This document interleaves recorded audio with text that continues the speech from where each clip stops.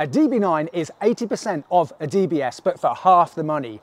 Buy a DB9. I could be quoted as saying this numerous times over the last few years. I owned a DB9 for two years, 12,000 miles, and I loved it. But today's a bit awkward because a very generous channel subscriber has let me borrow their DBS. The DBS was my dream Aston Martin and oh my goodness, look how beautiful it is. Right, note today, I'm not gonna be stubborn about what I've said in the past, but equally, I'm not gonna be swayed by recency bias because I've got this DBS today. At the end of this video, I'll give you my verdict. Is the DB9 the one to buy? Or is the DBS worth all that extra cash? Come on, let's find out. My name's Ben. Welcome to Dad Cars.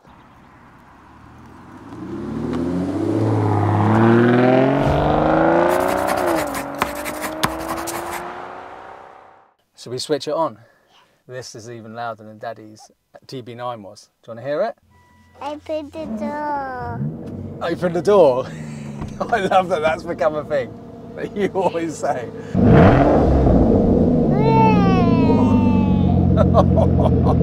I've dreamt about this since I was 18 and I saw this car in Casino Royale. When oh. you was little? Mm.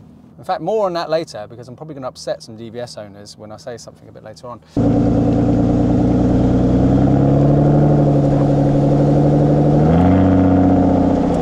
So sweetie, straight away, this obviously feels quite familiar to us, doesn't it? Because we lived two years with that DB9, did 12,000 miles. But what's different? So in here you got the piano black, beautiful waterfall dash coming down here and all of these surround parts and this bottom section here is also piano black which looks so much better. I actually wish that mine had that but mine was aluminium and although you'd think that that would make it less prone to scratches mine aluminium one did have a couple of scratches I think also in here you've got contrast stitching, which honestly really does make a difference on these Astons because most of them were specs like this, you know, just with black interior. So having the contrast stitching is massive. In here as well, you've got adaptive dampers, which you did not get on DB9s until a couple of years after this. Oh God, yeah.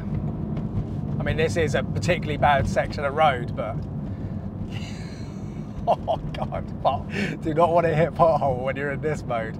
Jesus. Uh, so I understand what Aston Martin were doing with the DBS. You know, they're trying to make the most extreme one, the one that could be, you know, perform the best on a track. But in reality, I'm sure that 95 plus percent of people who bought these cars never intended on really taking them on a track.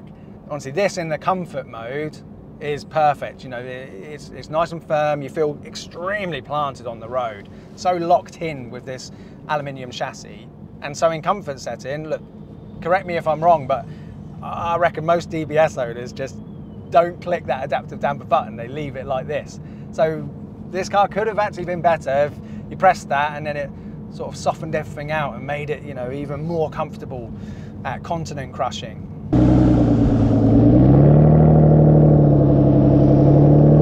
You've also got a pen down here. Look, sweetie, look at this pen. I can't see. Oh, oh, hang on a second. Right, we're coming some speed bumps. Right, okay, hang on. Now I know that my DB9 was okay going up this. Oh God, I'm already regretting it.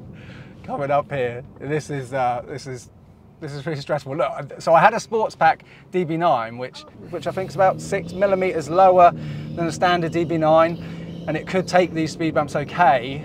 And it should be the same with this, but oh, I think I'm just so conscious of the carbon fibre. And because it's not mine as well, obviously. Oh, right. I've driven countless cars up here for reviews, and this is the slowest I'm going over these speed bumps.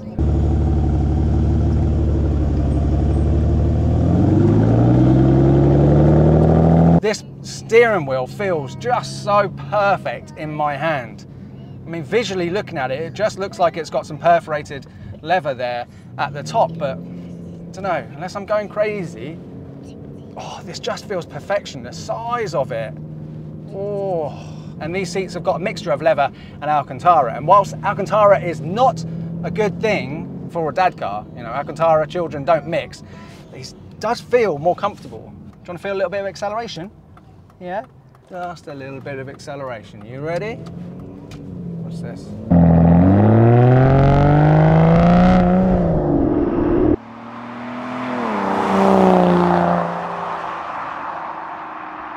Right, we will get back to the driving in just a second, but because this is the Dad Cars channel, we've always got to check out oh, rear practicality. Oh, and oh, in case you haven't seen any of my videos on my former DB9, the back of these 2 plus 2 Aston Martins is among the most cramped of all 2 plus 2s really, but it is still possible to get child seats in the back. The child seats that I used with my children in my DB9 a couple of years ago, they don't make those seats anymore, but there are still options available. This car's owner has found this solution. I mean, there is gonna be just about enough there for my little pickle today. But there's something very cool that you can do in this DBS that I could not do in my DB9.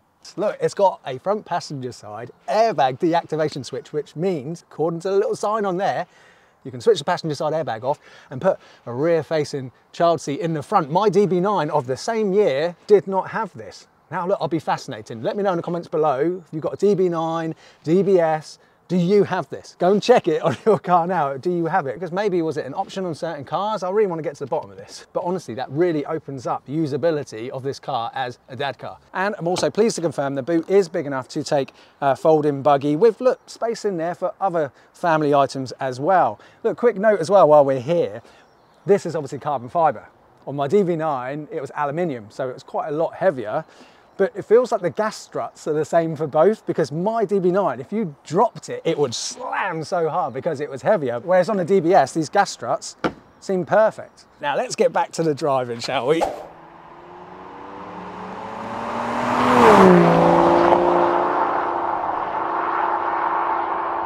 So just very quickly then, these VH platform 2 plus 2 Aston Martins began in 2004 with the DB9 and the launch DB9 came with 450 brake horsepower and then the DBS was launched in 2008 and at launch it only came with a manual transmission.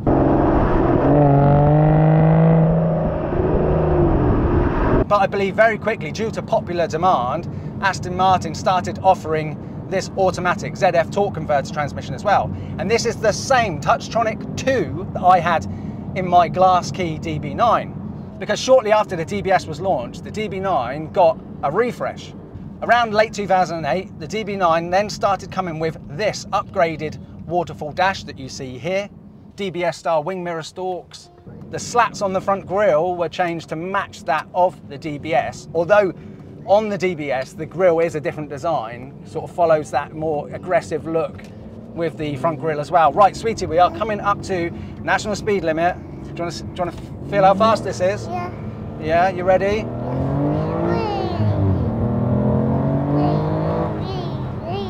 What do you think of that?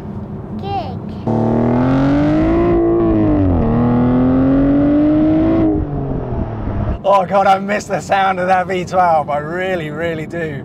But, but obviously this is the same V12 that is in the DB9, in my DB9. Right, sweetie, we're gonna pull over here and just do another little launch, I think. Obviously, we never go crazy on the Dad Cars channel because we've got pickles on board. But we'll do a bit of a... Yeah, but right, you ready, sweetie? Head back.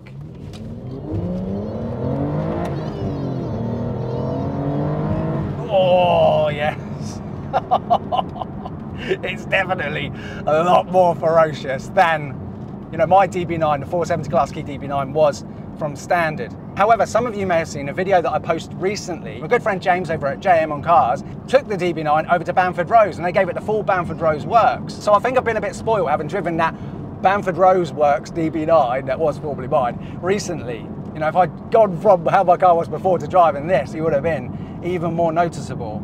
So the power difference between a comparable DB9 and a DBS is less than 10%. Oh. What? Oh, goodness me, got a death wish. Could you imagine if that hit into the carbon fiber front splitter at speed? Oh God. Oh.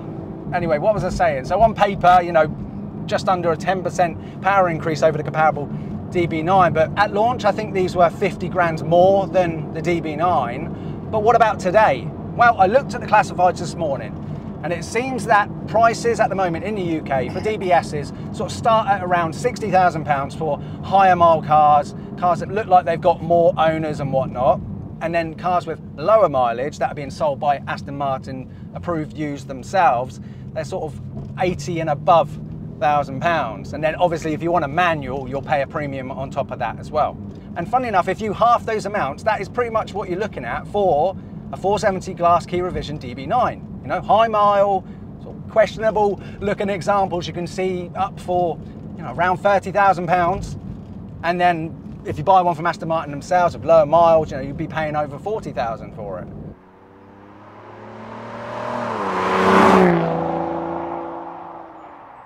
It would be automotive malpractice for me to review an Aston Martin DBS without mentioning Casino Royale and Daniel Craig. However, think about it. Here's a shocker for you. Casino Royale came out in 2006.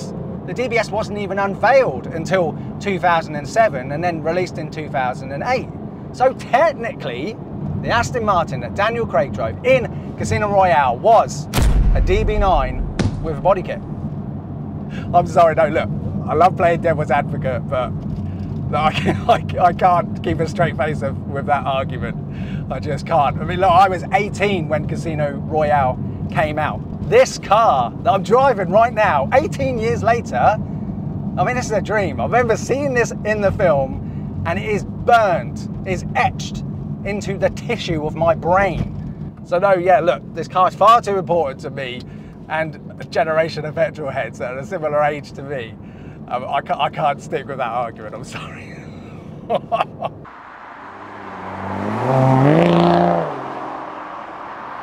if you're just looking at pictures of these things on your phone, look, flicking through the classifieds, you'd be forgiven for thinking, oh, look, yeah, the DBS is just a DB9 with a body kit. But honestly, trust me, when you actually see one in the flesh, spend some time up close with them, particularly if you are somebody who knows your way around a DB9 and spent some time, has owned one yourself before, you realise that it's much more than that. Honestly, it feels like every single panel on this car is different. Obviously, you've got that far more aggressive front end and side skirts and the rear diffuser but it's also the carbon fibre boot lid with that all-important, more pronounced boot spoiler, which honestly makes such a difference to the way that these cars sort of look and sit at certain angles. And this car is in quantum silver, which is actually, I think, one of the best looking colours for these Astons. It looks almost black, but in certain lights you can see the depth of the incredible Aston Martin paint also the iconic carbon fibre bonnet with the additional vents. And let me tell you, the additional ventilation is required the heat that you can see rippling off the front of these V12 Astons is insane. And this car wears the later diamond cut alloys, which I much prefer the earlier ones. But also the front wings, which are now carbon fibre. I believe before they were composite on the DB9. They're not the same. They're slightly more flared, more aggressive, and honestly, take it from me, I would love to say that this is simply a DB9 with, with a body kit thrown on it, but it's not. Right, and this is fascinating, okay? My wife is now holding the camera. What did you just say when you saw this car for the first time? That's a lot nicer than your DB. That is a lot nicer than my DB9. I honestly thought that my wife was going to say just looks the same as your other one, but she said it looks a lot nicer than the DB9. I wasn't expecting that.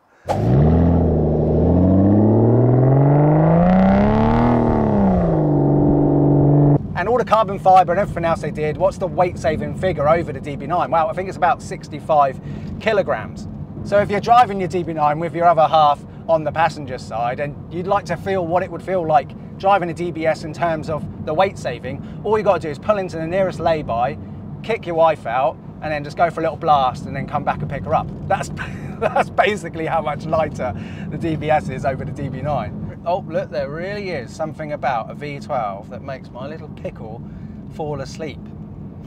to be fair, she did grow up, literally grow up. She was a baby when I bought my DB9. The DBS is as well, I believe, the first Aston Martin that came with carbon ceramic brakes. So I was quite interested in driving this today to see if they were a bit grabby or squeaky or, or whatnot. But maybe it's because the car was already warm by the time I, I took it because we did the drive-by first this morning. But they just feel very, very intuitive. And obviously I'm, I'm not going to get a chance to really slam them on because um, Little Pickle's asleep now. This car has also got the desirable B&O sound system with the rising tweeters up there on the dash. And you might be thinking, what's the point in that? You know, what's the point in the emotional control unit? What's the point in the doors coming up and you know all of the other sort of theatrics? But th- th- th- this car is all about that. You know, you don't buy this car because it's going to be the best thing around the Nürburgring. You know, you buy this car because it feels like nothing else. You know, you could drive a 997 turbo around at 20, 30 miles an hour and, you know, just feel very civilized, feel very much like a normal car. You know, and that, look, that's a compliment to the 911, so versatile. But drive this car around at normal speeds, drop it down a gear, accelerate from 30 to 40 with moderate input.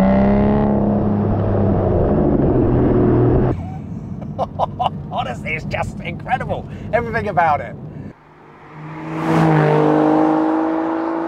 Now, Aston Martins, for some reason, are very mileage sensitive. Not quite as sensitive as Ferraris, but when you're looking at a car, what you should do is take the mileage and then sort of double it. Like if you see an Aston Martin with 40,000 miles on the clock, it's like the equivalent if you see any other car with 80,000 miles on the clock. And this car here today sits on just 17,000 miles. Now, obviously, you will pay a little bit extra to get a car with low miles, but for me, normally a car that's been driven a lot and has stacks of paperwork is I, would much rather have that over a car which has barely been driven in recent years, but is low miles. But you know, with these cars having the carbon ceramics, I mean, there is some sort of logic actually in going for the lower owner car, lower mileage car because yeah look you might save like 15 grand maybe buying a higher mile dbs that's got a stack of owners and you know a bit more of a questionable history. But if one of those owners had taken the dbs to a cheap car wash place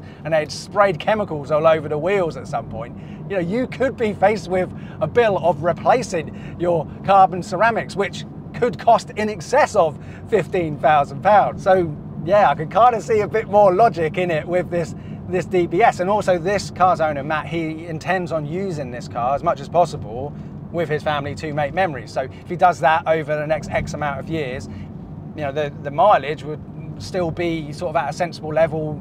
The car would retain its value a bit more, be a bit easier to sell.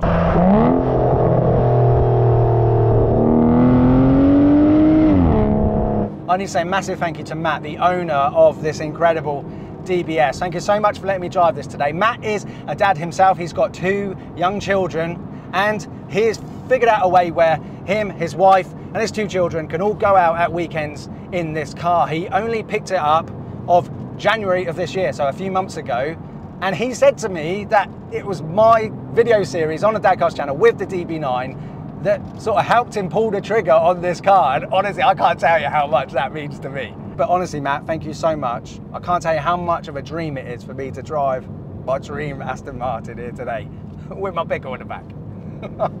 Look, what the Dad Cars channel is all about is buying the most exciting car you possibly can that you can comfortably afford and using it as much as possible with your children to make memories. That is what this channel is all about. But look, strong emphasis on comfortably afford because it is not fun owning a car which is stretching you financially. The memories that you make with your children, if you're feeling grumpy and stressed the whole time, no, that, that, that is not fun. So getting to spend the day with and drive this, my dream Aston Martin here, oh look, I can confirm that a DB9, certainly a Sports Pack 470 glass key DB9 is 80% of a DBS for half the money. It is.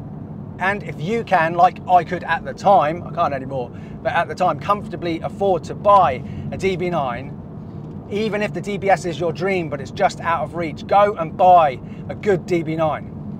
And it's true as well with upgrades, you know, at a place like Bamford Rose, you can make a DB9 perform just like this as well.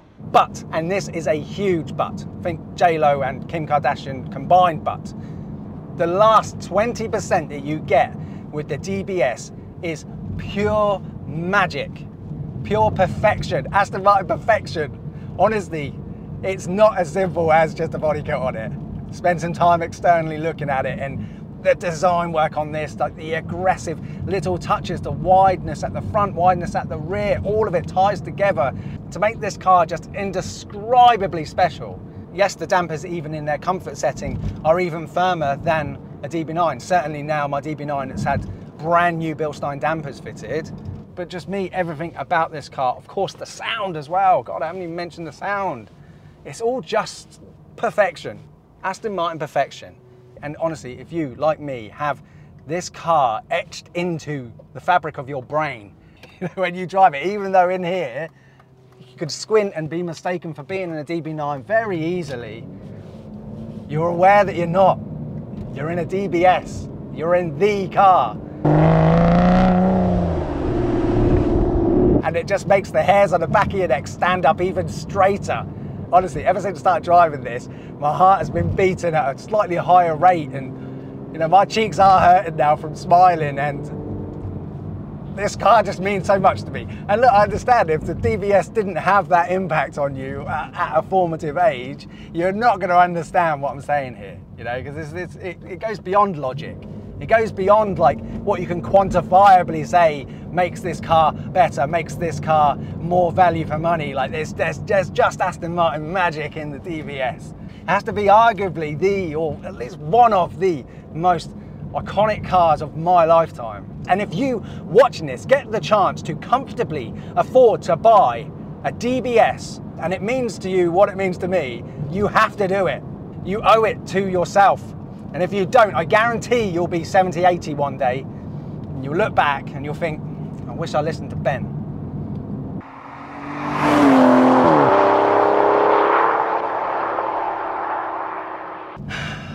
If you're still watching this video now, I need you to subscribe to the channel. I need you to comment below. I need you to share this with somebody. Right, I want, this channel's got to get bigger. The fact that this car is, was only bought by its dad owner because he saw something on the Dad Cars channel which helped him pull the trigger. I know there's lots of people out there that this is happening to.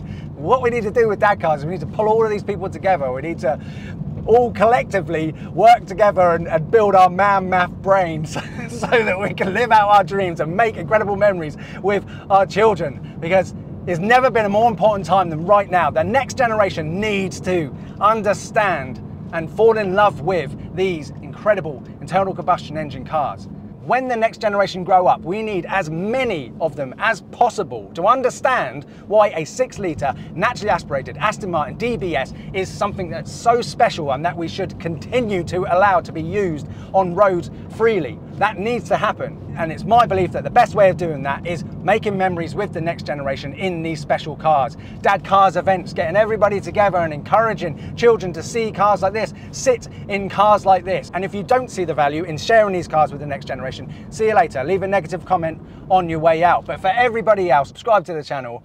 I can't wait to see what we get on the channel next. Take care. Bye bye.